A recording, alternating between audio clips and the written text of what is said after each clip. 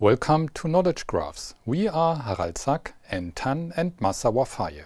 And this is lecture number 6, Intelligent Applications with Knowledge Graphs and Deep Learning. And as every week, we are starting with a brief introduction into the topics of this week's lecture. First of all, we are going to start to talk about the graph in knowledge graphs. Of course, we are referring to knowledge graphs because we know this is a kind of graph network. But the graph itself carries lots of information that might be useful for us. So there is a subject in, in science, of course, which is called graph theory. And you will learn in that first part of the lecture a few basics of graph theory, and you will see how useful this is then to carry on with the tasks and projects we want to do.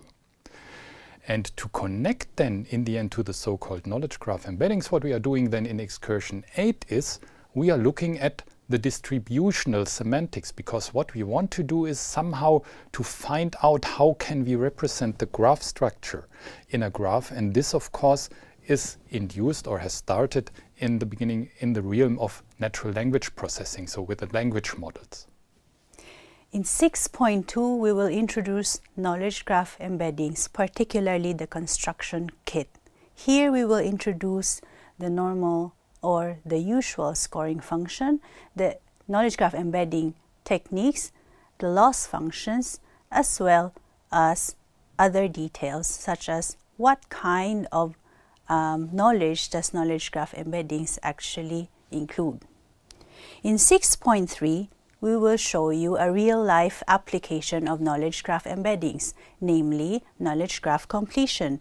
In knowledge graph completion, we have several tasks to explain.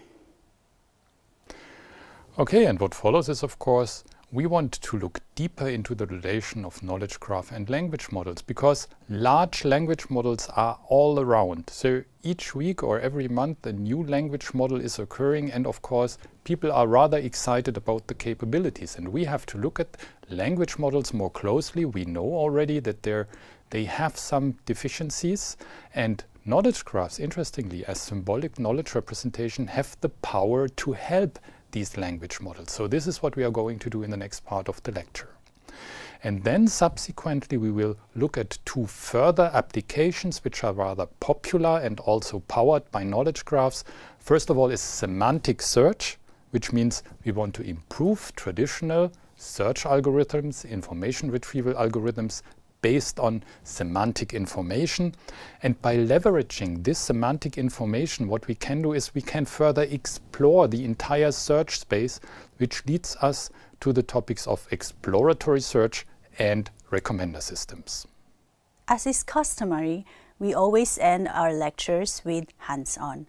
We would start with network analysis using Python library NetworkX, followed by and uh, we will move on with a Google Colab notebook in which together we will perform a very simple knowledge graph completion task using the TransE model and the Python library um, AmpliGraph.